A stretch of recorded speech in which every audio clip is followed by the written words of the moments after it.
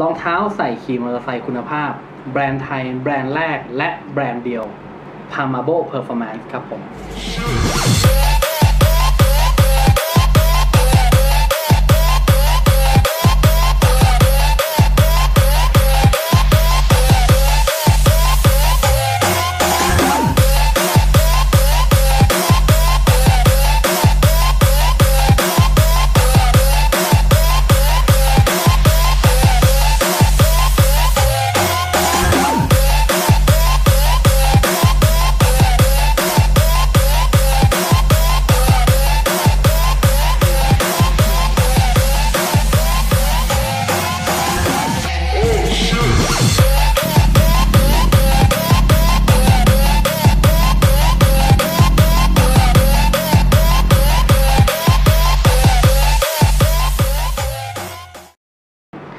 วัสดีครับ ยินดีต้อนรับทุกท่านเข้าสู่ a m a n b a t Video Review นะครับสำหรับ episode นี้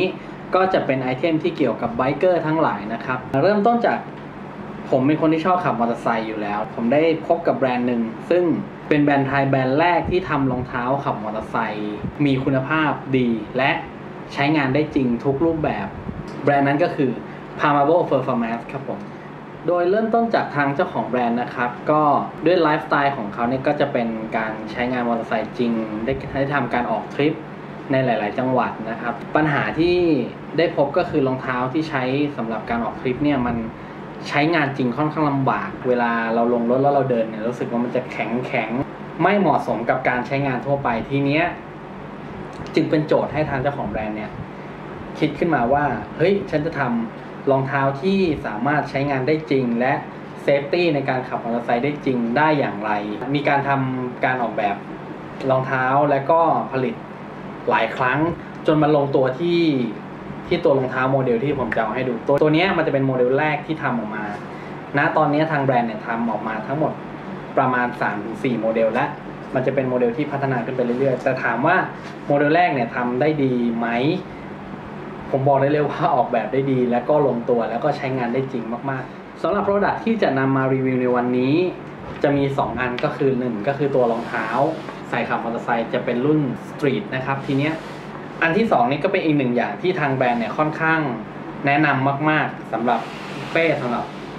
ขับมอเตอร์ไซค์เป้สำหรับการใช้เดินทางด้วยมอเตอร์ไซค์ใช้คำนี้ดีกว่า มันจะเป็นเป้ที่อเนกประสงค์แล้วก็ผ่านการออกแบบผ่านการคัดกรองมาอย่างดีมาก มันจะดียังไง เดี๋ยวผมจะให้ดูในภายหลัง เดี๋ยวเรามาเริ่มกันที่ตัวรองเท้าก่อนนะครับ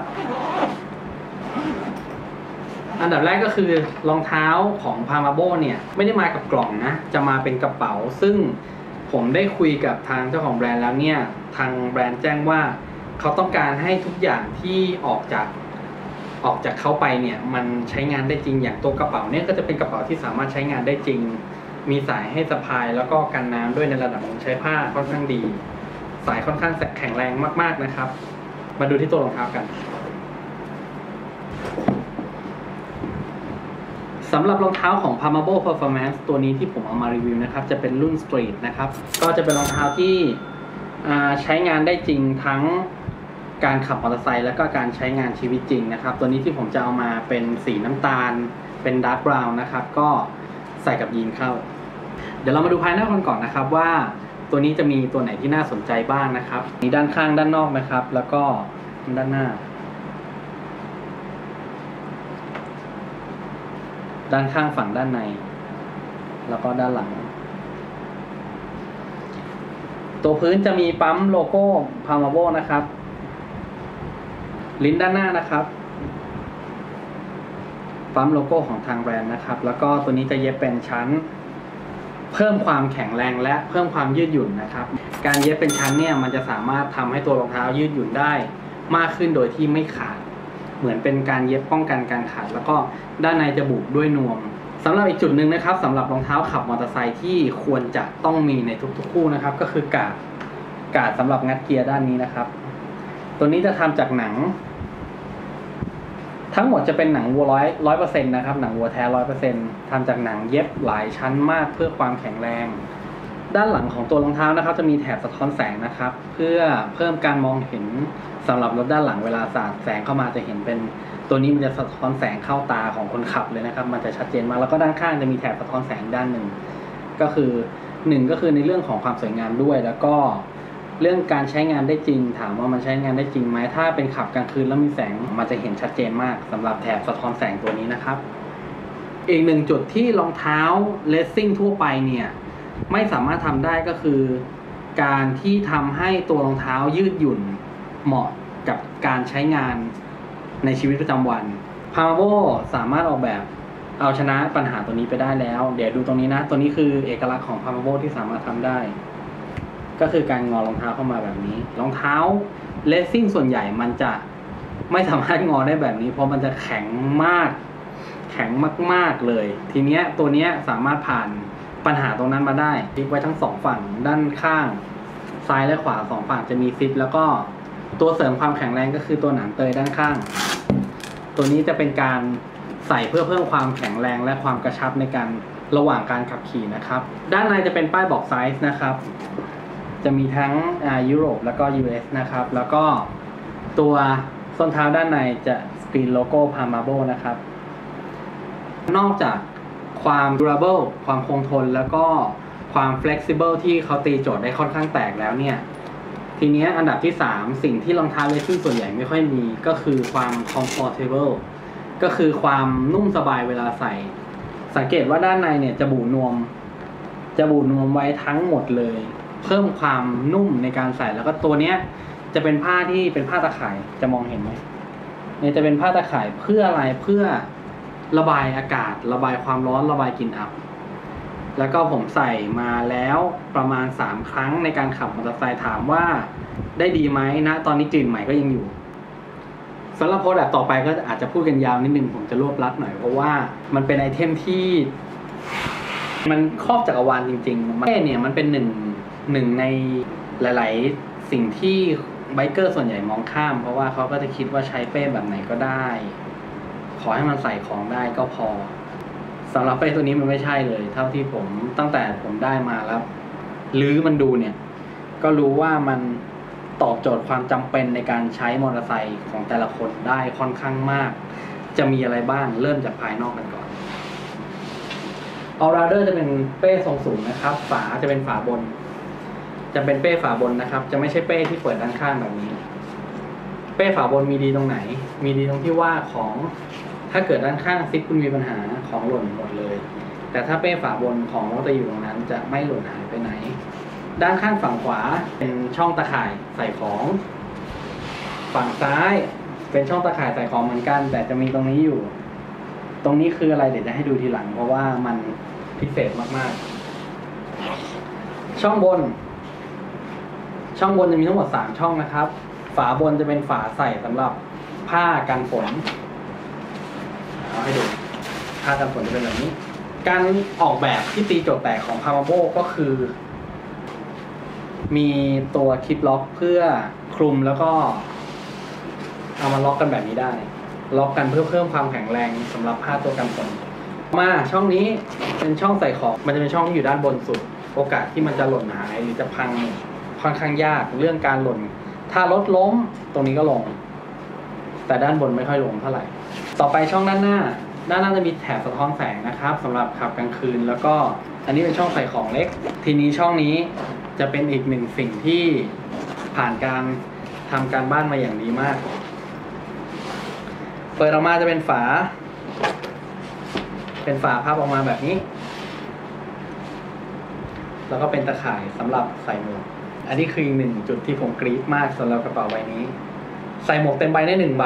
มีตัวล็อกด้านบนชัดเจน ตัวล็อกจะอยู่ด้านบนนะครับสองฝั่ง ล็อกได้เลยสองฝั่งปึ๊บปึ๊บสำหรับเรื่องการใช้งานจริง ผมมีรูปที่โพสต์นะก่อนหน้านี้นะครับ ไปดูกันได้ พอดีผมไม่ได้เอาหมวกขึ้นมานะฮะก็แข็งแรงทนทานแน่นอน เพราะมีตัวล็อกขนาดนี้แล้วก็ขอบนี้จะเป็นขอบยางยืด แล้วก็ตัวนี้จะเป็นตะข่าย สำหรับระบายอากาศและระบายน้ำในกรณีที่ขับตากฝน ช่องด้านในใส่ของได้ ใส่ของที่คิดได้นะครับ เล็กๆน้อยๆได้ ต่อไปเรามาดูในอีกหนึ่งจุดที่ค่อนข้างเป็นจุดที่สำคัญที่สุดของกระเป๋าใบหนึ่งนะครับ ก็คือช่องใส่ของหลักนะครับ อย่างที่บอกว่า p a m a b o All Rounder ตัวนี้จะเป็นช่องกระเป๋าฝาบนนะครับ เปิดกระเป๋าฝาบนมาสามารถบิดให้มันเปิดสุดได้ ปิดเปิดสุดแล้วทีนี้ด้านในมีอะไรบ้าง ช่องใส่โน้ตบุ๊กมีหนามเตยปิดล็อก บุด้วยนวมด้านใน ตัวนี้จะบุด้วยนวมด้านในนะครับ ปิดล็อกชัดเจน แล้วก็ด้านในก็จะมีช่องซิปต่างๆ ที่ใส่ของเนี่ยน่าจะมองไม่เห็น แต่ผมมีถ่ายรูปไปแล้วก็ไปดูที่โพสต์ก่อนหน้านี้ได้ อีกจุดหนึ่งที่ค่อนข้าง recommend มากๆ ก็คือด้านข้างนี้ตรงนี้ คุณจะเห็นสาย USB มันจะเชื่อมกับตัวนี้ ที่ผมบอกไว้ตอนแรก มันเอาไว้ทำลายมันคือ USB สองฝั่ง คุณสามารถชาร์จโทรศัพท์ได้ และเอาออกมาใช้งานได้ด้วย เนี่ยมันมันถึงทำให้ผมค่อนข้างว้าวกับกระเป๋าตัวนี้มาก ๆ เพราะว่ามันมันเป็นกระเป๋าที่ผ่านการทำการบ้านมาเยอะมาก ว่าไบเกอร์แต่ละคนเนี่ยต้องการอะไรกันแน่เวลาใช้เดินทางต่อไปเป็นด้านหลังนะครับ ด้านหลังสายสะพาย สายสะพายด้านหลังจะมีตัวล็อกสองด้านสองอันก็คือตัวล็อกหน้าอก ตัวล็อกหน้าอกก็ผ่านการทำการบ้านมาเหมือนกัน ก็คือตัวนี้จะเป็นยางยืด เพื่ออะไรเพื่อเพิ่มความกระชับระหว่างใช้งาน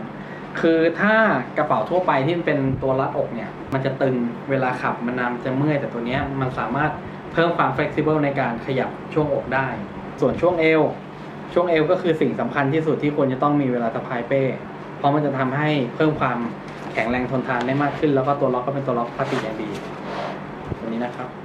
อีกจุดหนึ่งที่แบรนด์นี้ไม่มองข้ามเลยก็คือ เวลาเราไปเที่ยวเที่ยวที่หนึ่งเนี่ยเราควรจะต้องมีรองเท้าสำรอง ไม่ว่าจะเป็นรองเท้าแตะหรือเป็นผ้าใบสำรองอีกสักคู่หนึ่งถ้าเป็นเป้ใบธรรมดาเนี่ยเขาก็จะยัดรวมไปไว้ด้านล่างมันก็ไม่เหมาะสมในการที่จะรวมเสื้อผ้ากับรองเท้าไว้ด้วยกัน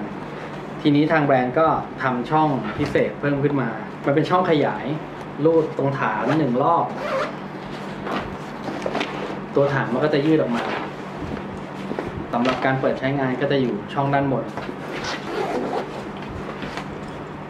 เปิดใช้งานด้านล่าง เป็นช่องด้านล่าง เพื่อใส่รองเท้าเพิ่ม ใส่ได้เต็มที่สองคู่